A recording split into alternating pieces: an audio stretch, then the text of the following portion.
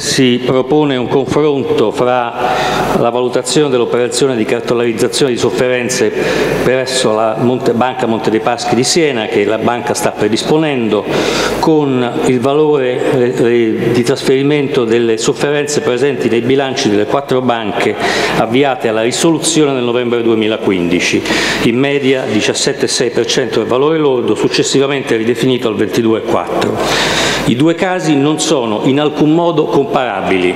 Le quattro banche sono state sottoposte alla procedura di risoluzione ai sensi della direttiva cosiddetta BRRD del, dell'Unione Europea e il relativo decreto di recepimento.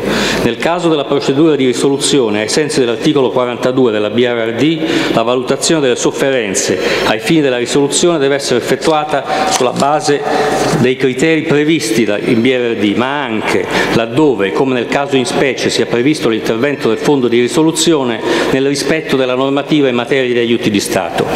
Rileva a tal fine la comunicazione della Commissione europea del 25 febbraio 2009. La valutazione derivante si discosta da quella utilizzata nelle ordinarie prassi contabili. La Commissione ha considerato accettabile una valutazione dei crediti deteriorati collateralizzati pari al 25% del valore lordo e di circa l'8% per quelli non collateralizzati. Ai sensi dell'articolo 36 della BRT è necessario predisporre anche una valutazione definitiva delle attività e delle passività della banca, secondo i criteri indicati nella direttiva. La valutazione definitiva è stata predisposta da esperti indipendenti, come prescritto, e ha rilevato un valore pari a circa il 22,4 del valore lordo. La vicenda del Monte dei Paschi di Siena è completamente estranea a scenari di risoluzione e di intervento del Fondo di risoluzione o comunque di aiuto di Stato.